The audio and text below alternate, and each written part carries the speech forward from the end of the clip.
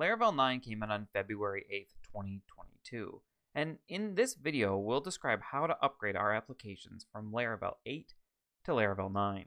If you're upgrading from a previous version, make sure you check out our video on how to upgrade to Laravel 8. You'll have to upgrade through each version at one at a time, and a link is in the comments. Hello developers and welcome to PHP Developers TV, your home for everything you need to know to be a knowledgeable PHP developer.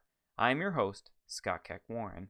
A disclaimer Laravel 9 is brand new, and because it has breaking changes, it has the potential to break our application.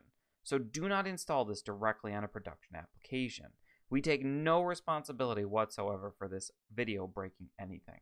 As a general piece of advice, it's a good idea to hold off a couple of weeks so bugs can get fixed before upgrading any production instances. But it's okay to install the newest version in a development environment to try out the new features and to help find bugs. It's kind of our duty as developers using open source software. Support policy. The Laravel framework has a long term support release policy that says that bug fixes are provided for two years and security fixes are provided for three.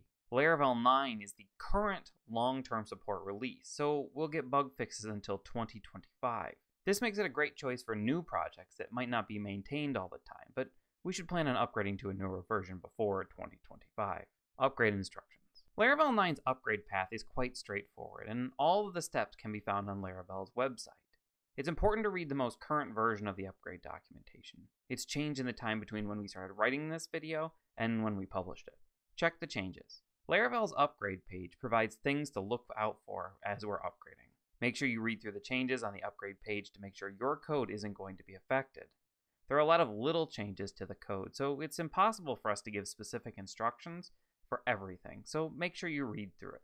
The biggest change is that as part of the upgrade to 9, PHP 8.0.2 is now the minimally required version, so make sure you're already running a newer version before continuing. I would recommend upgrading to 8.1 as there are some nice new features in 8.1 that can be taken advantage of in Laravel 9. Create a new branch. Anytime we do a major upgrade, we have to assume it's a test and we might encounter problems that we can't get past. Because of this, we may have to abandon this process. To do that easily, we can create a branch so that we can just delete the branch if something doesn't work out, or if we need to start over. Change composer.json. The next thing we're going to do is open our composer.json and make changes that need to be made to get it to version 9. There are really only two changes in this upgrade. We have to take the Laravel framework to 9.0 and the Nunomondo collision package to 6. And I apologize if that's somebody's name and I've just butchered it. We'll end up with something like the following. Next, we're going to run composer update, so it pulls in those changes. If everything ran successfully, we know that we, we are ready to go and we can commit our composer.json and composer.lock to our repository. Then we can run our tests and check all of our critical pages to make sure that nothing broke. Once we feel confident that it's working as we expect, we can then merge the branch back into master. Problems? If you run into problems with this upgrade, we always suggest restarting and trying again. Then check the upgrade notes and make sure nothing changed that you're depending on. If that doesn't work, it might be time to try Laravel Shift, which can automatically upgrade a Laravel 8 application to Laravel 9. Enjoy the upgrade. Hopefully the upgrade has gone smoothly and your application is now up to date with Laravel 9.0. As always, thank you for watching our video. We could not do it without you.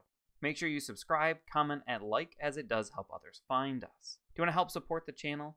Find us on Patreon, we would love it, and we'll include your name in our list of supporters in each video. This is Scott Keck Warren for PHP Developers TV signing off and reminding you to keep coding.